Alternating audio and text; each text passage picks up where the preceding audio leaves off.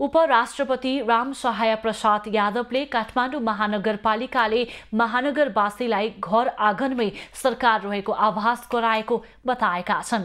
काठमाडौँ महानगरले तीसौँ महानगर दिवसका अवसरमा टुडीखेलमा आयोजित कार्यक्रममा उनले स्थानीय निकायको सक्रियताबाट जनताले आफ्नै घर आँगनमा सहज सेवा पाएको बताएका हुन्। महानगरले मतदातालाई प्रवाह गरेका सेवा अन्य स्थानीय तहका लागि अनुकरणीय रहेको उल्लेख गर्दै उपराष्ट्रपति यादवले संघीयता कार्यान्वयनमा युवा वर्गले सशक्त भूमिका निर्वाह गर्नुपर्नेमा जोड समेत दिएका छन्। कार्यक्रममा महानगर प्रमुख बालेन्द्र शाहले सतहत्तरवटै जिल्लाका नागरिकका लागि काठमाडौँ महानगरलाई बस्न लायक बनाउनेतर्फ आफ्नो ध्यान केन्द्रित रहेको बताए। सतहत्तरै जिल्लाबाट आउनुहुने सम्पूर्ण नेपाली नागरिकहरूको आफ्नो राजधानी बन्न सकोस्।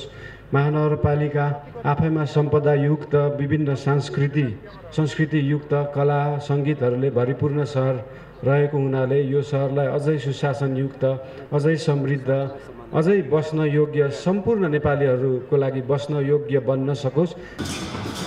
काठमाडौँ महानगरपालिकाकी उपप्रमुख सुनिता डङ्गोलले पूर्वाधार विकासलाई महानगरले पहिलो संविधानमा व्यवस्था भए अनुसार तीन तहका सरकारहरूमध्ये जनताको सबैभन्दा निकटमा रही आम नागरिकलाई गुणस्तरीय सेवा प्रवाह गर्नका लागि स्थानीय सरकारको काम कर्तव्य र अधिकारलाई कार्यान्वयन गर्न काठमाडौँ महानगरपालिकाले हर तहले प्रयास गरिरहेका छौँ।